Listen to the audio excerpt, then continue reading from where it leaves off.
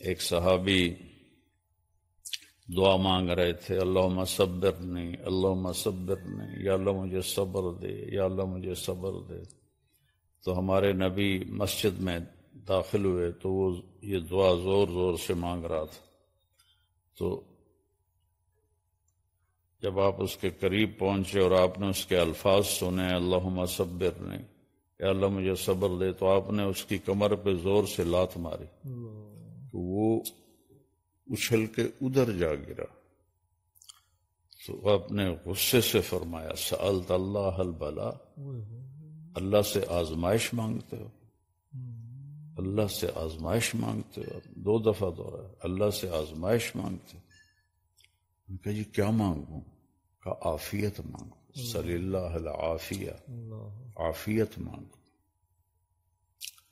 اور ایک حدیث میں آتا ہے و ان الناس لم یعطو شیئا خیرا من الیقین والعافیہ فصلوہم اللہ عز وجل کہ اللہ تعالیٰ نے عافیت اور یقین سے بہتر کوئی چیز نہیں جو اپنے بندوں کو دی ہو۔ تو اللہ سے عافیت بھی مانگو کہ مشکلات اور بیماریاں بہت سے کاموں میں رکاوٹ بن جاتی اور اللہ سے یقین مانگو کہ غلط یقین، کمزور یقین انسان کو گناہوں میں ڈال دیتا ہے۔ تو اس لیے آپ نے فرمایا کہ یہ سب سے اعلیٰ دو چیزیں ہیں جو اللہ نے انسان کو عطا فرمائی ہیں۔ اللہ پر توکل و توکل الحی الذی لا یموت۔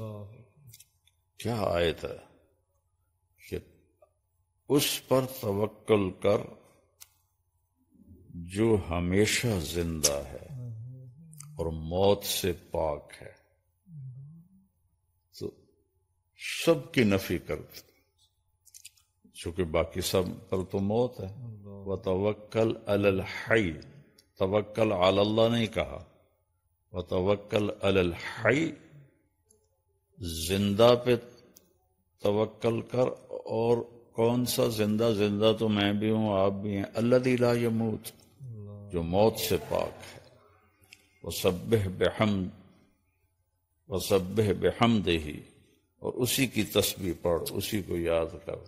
وہ کفا بے رب کب ذنوب عباد ہی خبیرم بصیرہ اور تیرا رب تمہاری غلطیاں، تمہاری کوتاہیاں سب جانتا ہے۔ سب دیکھتا ہے۔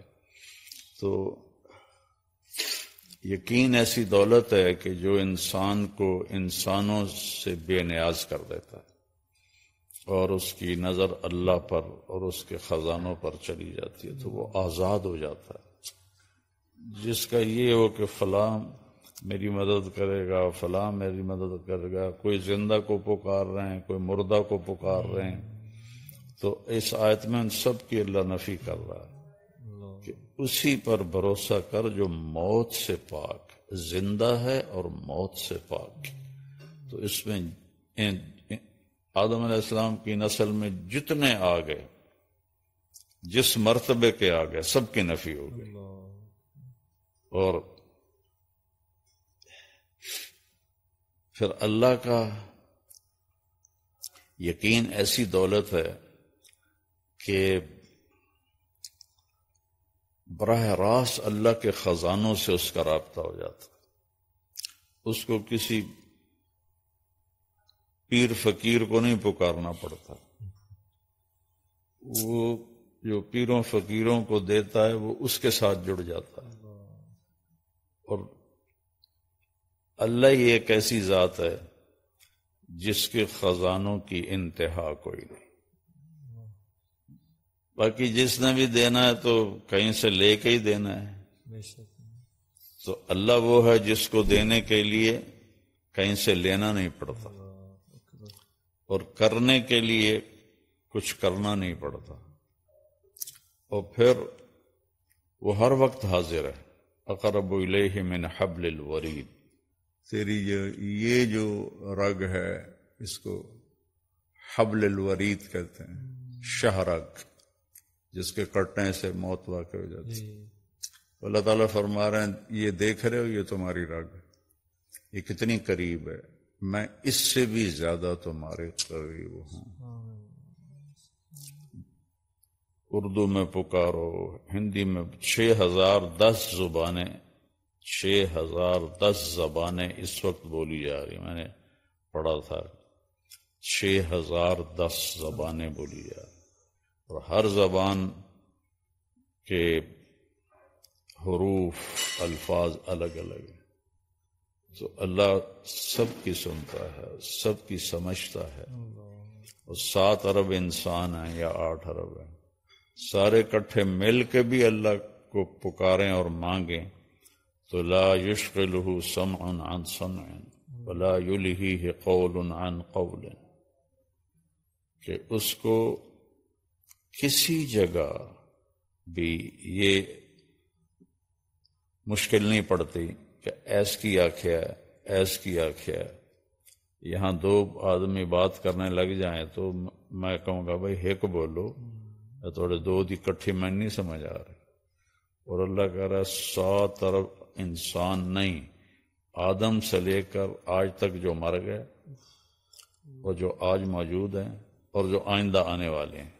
وہ اور جنات ہم سے لاکھوں گنا زیادہ ہیں۔ کہ تم سب کٹھے ہو جاؤ اور ایک دم مانگو۔ واری واری مانگو تو پھر تک قیامت آ جائے گی۔ ٹائم ہی نہیں ملنا۔ تم سب مانگو اکٹھے۔ اس میں گونگے بھی ہوں جو اشاروں سے مانگ رہے ہیں یا دل سے مانگ رہے ہیں۔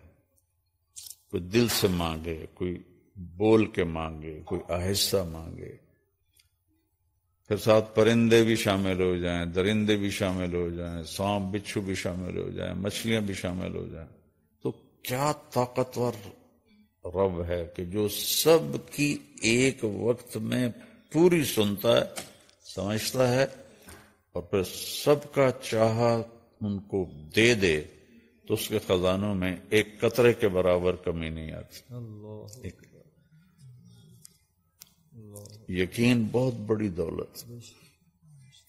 ہمارے بر صغیر میں انسانوں کو خدا بنا دیا ہے لوگوں نے۔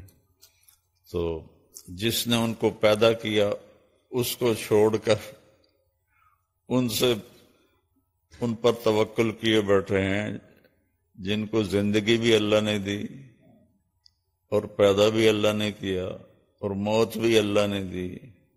اور موت کے بعد اٹھانے والا بھی ان کو اللہ ہے۔ تو اس سے کیوں نہ مانگے؟ جو کہتا دیکھو لوگوں سے مانگو تو وہ ناراض ہو جاتے۔ اور اللہ سے نہ مانگو تو وہ ناراض ہو جاتے۔ کتنا فرق۔ مانگنے پہ اللہ خوش ہوتا۔ میں کہا کرتا ہوں کسی سے جان چھڑانی ہو بڑے اچھے طریقے سے تو اس سے قرضہ مانگنا شروع کر دو۔ وہ انشاءاللہ تمہارا نمبر ہی بلاک کر دے گا۔ اور اللہ سے جی لگانا ہو اور تعلق بنانا ہو تو اللہ کو پکارنا شروع کرو، اس سے مانگنا شروع کرو۔ میرے نبی نے فرمایا، جوتے کا تسمہ ٹوٹ جائے تو وہ بھی اللہ سے مانگو۔